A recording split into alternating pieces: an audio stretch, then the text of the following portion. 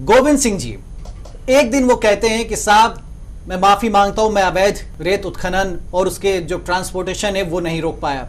दूसरे दिन वो कहते हैं, साहब, पचास लाख एक टीआई ले रहा है। इस तरह की बातें। फिर विधायक उनके खिलाफ खड़े हो जाते हैं। वो कहते हैं, मंत्री जी को इस तरह की बातें नहीं करना चाहिए। दो विधायक जो सिंधिया खेमे के, वो उनके खिलाफ हो जाते हैं। यानी किस तरह की स्थितियाँ, ऐसे हालात क्यों बन रहे हैं? उसके बाद के पॉइंट पॉइंट में बाद में आऊँगा। नहीं देखिए गोविंद सिंह जी बहुत सीनियर मंत्री हैं बहुत वरिष्ठ हैं। मैं समझता हूँ छः सात साल छः सात बार के विधायक हैं और पहले भी मंत्री रह चुके हैं बहुत कद्दावर नेता हैं कांग्रेस पार्टी के।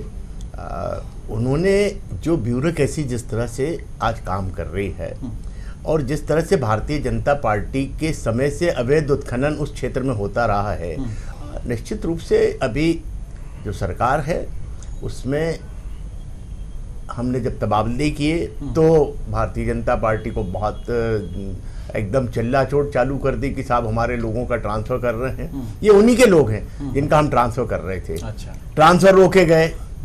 अब निश्चित रूप से वहाँ पर जिस तरह का अवैध उत्खनन हो रहा है और जिस तरह से कहना चाहिए पुलिस और प्रशासन और सारे लोग हम्म। वहाँ पर जिस तरह से दोनों हाथों से उगाई कर रहे हैं हम्म। तो उन्होंने उनको रोकने की ज़िम्मेदारी किसकी थी नहीं निश्चित रूप से मंत्री जी की है मैं मैं कह रहा हूँ हाँ। वो पर कहीं ना कहीं ऐसी कहीं ना कहीं कोई बात हुई होगी हम्म। जिससे कि उनको ठेस लगी है इसीलिए उन्होंने कहा है कि ये दोनों हाथों से यहाँ पे की जो संपदा है उसको लूट रहे हैं दूसरे दिन ही आईजी ने सत्रह बैरियर्स बना दिए हैं।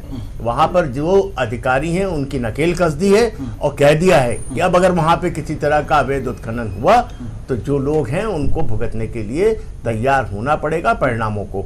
तो मैं समझता हूँ कि अब बात का पटाक्षेप हो जाना चाहिए।